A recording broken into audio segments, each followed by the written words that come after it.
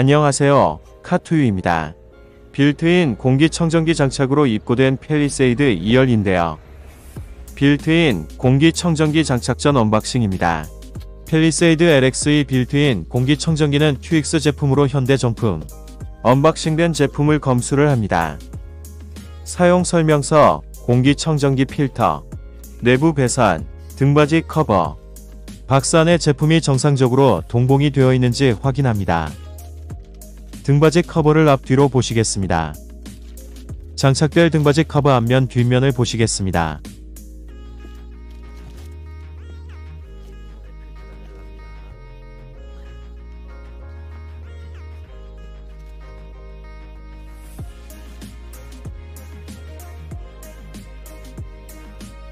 자 그럼 장착해 보겠습니다.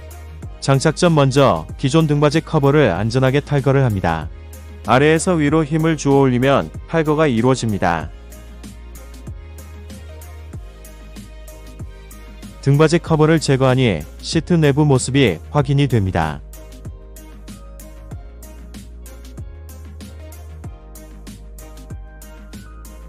등받이 커버 장착 전 준비된 공기청정기 등받이 커버에 공기청정기 필터를 삽입시켜 보겠습니다. 네.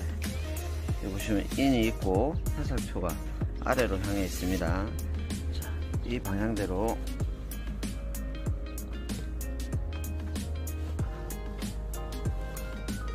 자, 이게 있으면 나중에 잡아당겨서 꺼내기 좋겠죠. 탈거된 등커버에 기존 USB 연결 부위를 이식하신 후 동봉된 잭과 기존 USB 전원 케이블을 연결해주고 테스트 후 빌트인 공기청정기를 시트에 부착하면 완료가 됩니다. 전문가의 손길로 장착 시간은 15에서 30분이면 충분합니다. 장착 후 테스트 어떠신가요? 빌트인 공기청정기는 순정과 아주 흡사합니다. 설치 전 사진과 비교해볼 때 차량과 이질감 없는 순정 느낌 그대로가 느껴지시나요? 오히려 순정 시트보다 더 고급스럽고 멋지게 보인답니다. 기존 USB 포트도 이상 없이 동작합니다. 실내 공기를 체크하여 오토로 동작하며 현대기아 순정 납품 제품이기에 AS나 필터 교환 등 믿을 수 있는 게 가장 큰 장점인 것 같습니다. 이상 CAR2U였습니다.